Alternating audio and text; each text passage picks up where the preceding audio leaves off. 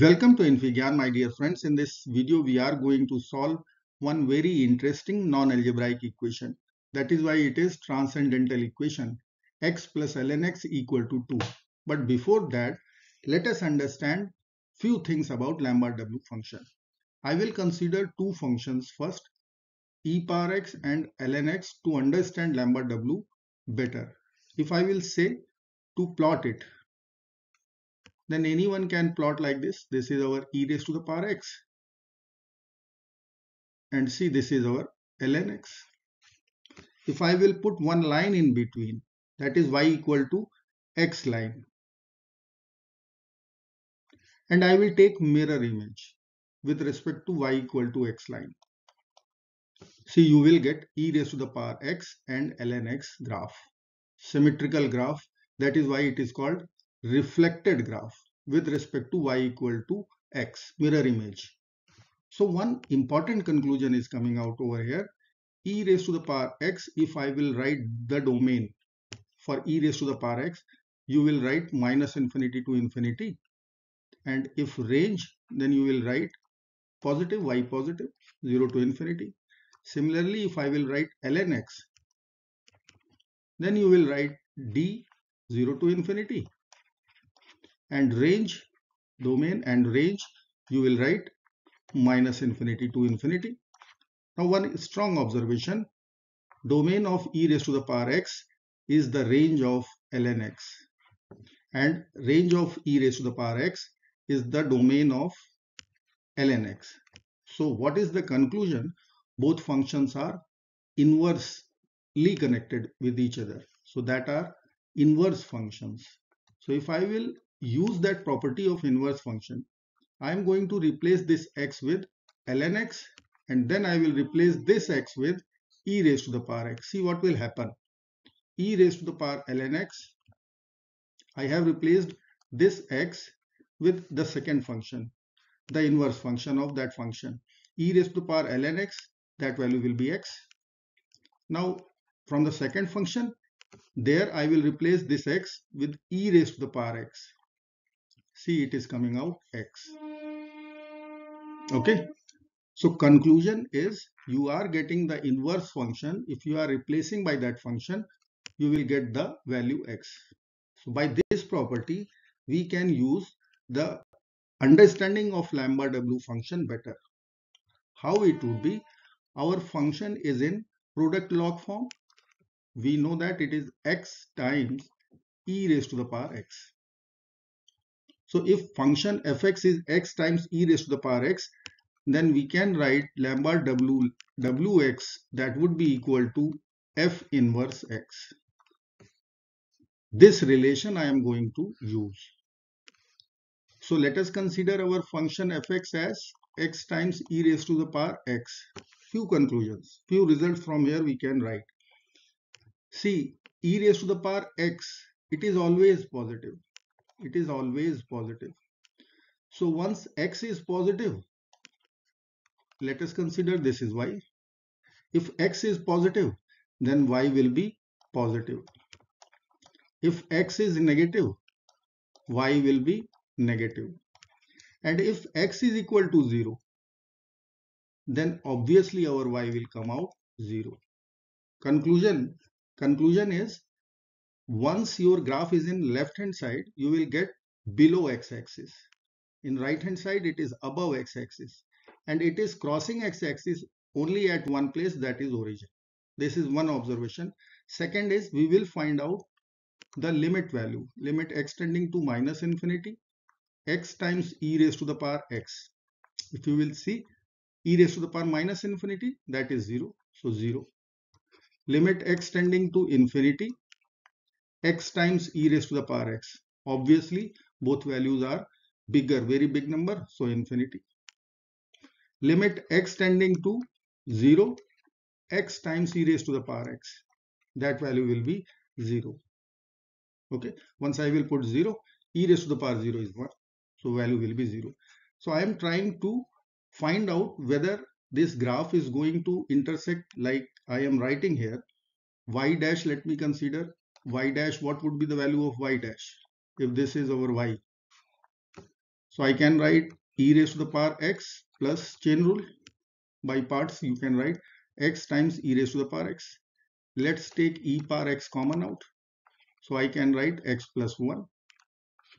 For critical points, I will put this derivative 0. So if y dash is equal to 0, that means e raised to the power x times x plus 1 equal to 0.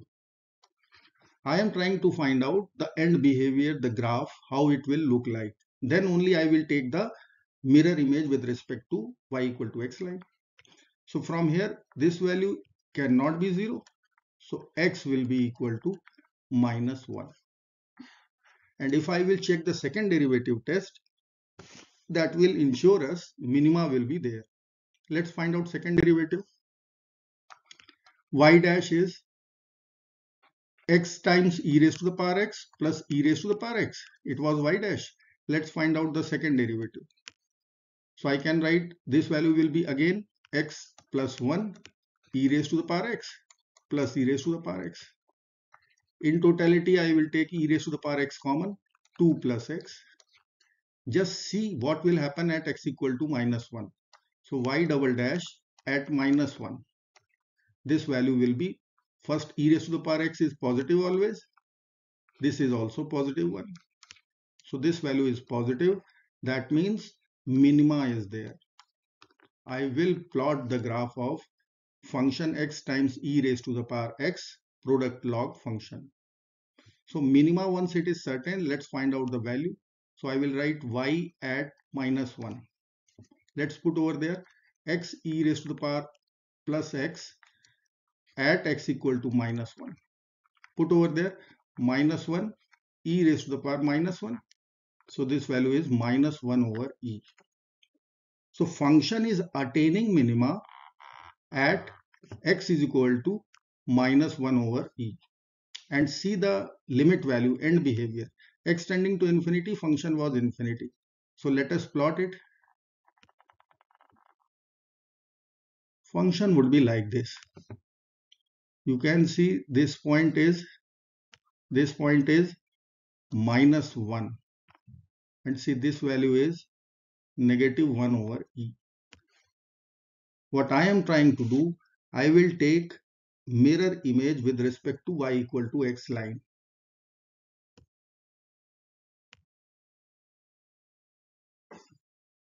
See how our graph will come out. Once I will take mirror image or reflection with respect to y equal to x line.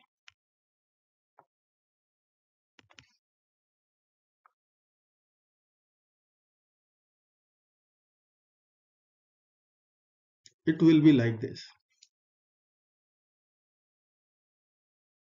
Okay. Now i will swap the domain and range. There are two limitations either you can take the mirror image with respect to y-axis y equal to x line not y-axis y equal to x line. And second thing is what we can consider we can find out in this manner. Okay? So if i will see the take the mirror image then it will come like this. Now i will plot then this value will be you can see it is minus 1 over e. So domain and range swap if i will do then this graph will come out. It would be like this. And see it is minus 1 over e. Mirror image or you can swap the domain and range. So its domain will be range range will be domain. So this point will be negative 1. This branch is called W0 branch.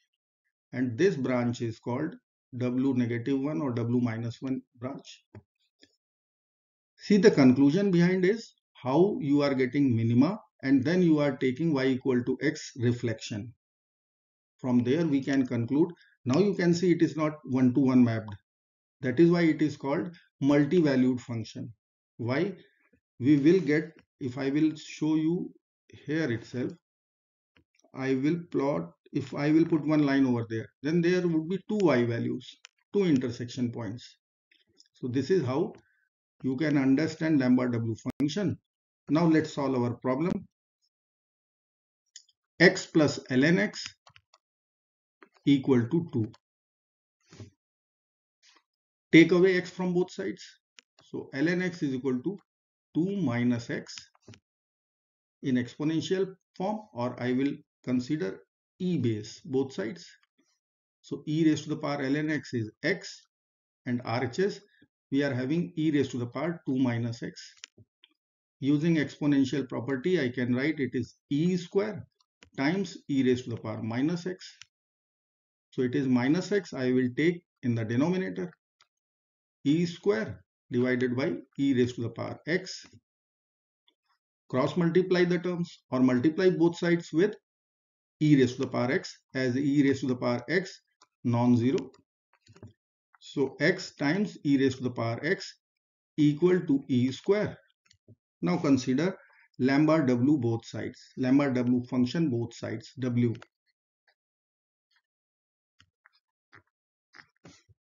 So LHS is x, RHS is Lambert W e square. And if you will find the value, it will come out 1.5571 and so on. This is our real value x. Okay. See the verification through Wolfram alpha. WE square that value is 1.71455. I hope you like this video. Thank you so much for watching. Do not forget to like, share, subscribe. Bye bye till next video. Good luck.